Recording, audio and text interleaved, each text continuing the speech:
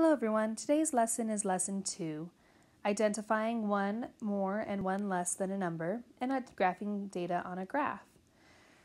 So yesterday we practiced finding numbers on a hundreds number chart.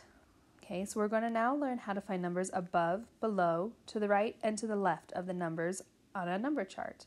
Okay, so let's find the number 52. Okay, so I go to the rows that has the fives, and we find 52.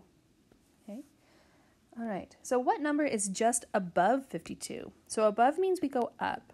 So the number above 52 is 42.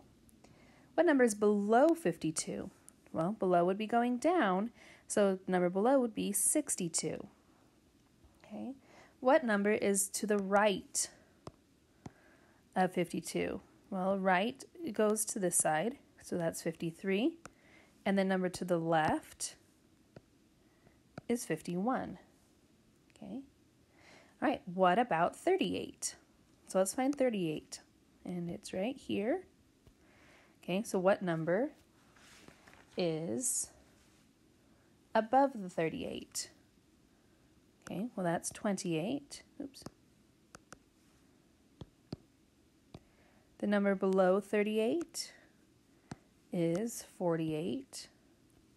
To the right is 39, and to the left is 37. All right, we're going to read the numbers from 31 to 40, and we're going to count as we go. So if you notice, if I go 31, 32, you see that I'm moving to the right. 33, 34, 35, 36, 37, 38, 39, 40. I was moving to the right as I count up. Okay. So if I go to 46 and I want to go count up, I would move to the right to 47. Okay. All right, so let's read the numbers from 80 to 71. Okay, so starting with 80, we're going to go to 71. And notice we're going to the left.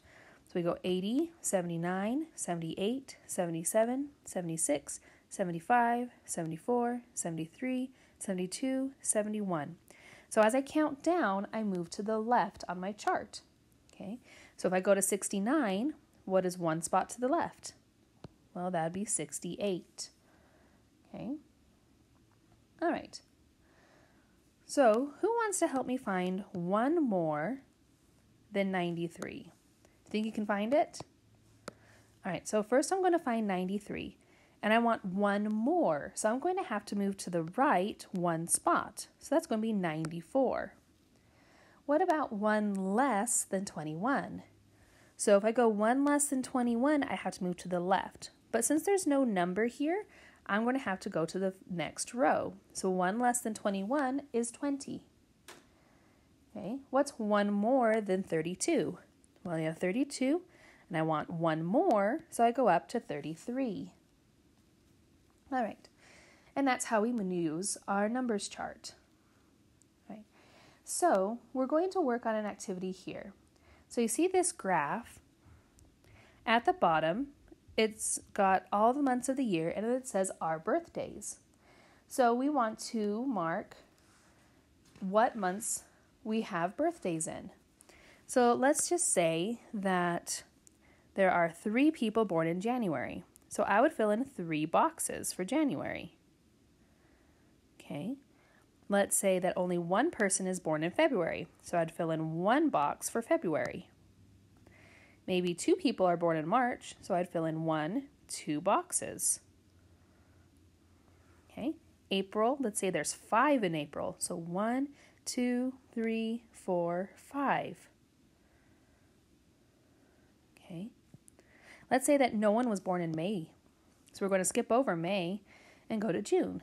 Okay, let's say there are three people born in June. So one, two, three. We fill it in. July, let's say six people were born in July. One, two, three, four, five, six. And I fill it in. One person born in August. Okay, let's say seven were born in September. So we go all the way up. All right, so this is how you make what's called a bar graph. Okay, and we call it a bar graph because we form these bars when we fill in the boxes. All right, so the last part is almost every day you'll have a practice sheet at the end of the math lesson. So just you'll look up at the top of the math sheet and there's a side A and B. So we'll do side A in class and side B is going to be your homework. Okay. So if you have any questions, um, you can ask your parents or you can ask uh, your teacher. Okay, and that's it for this lesson. Good luck on your homework.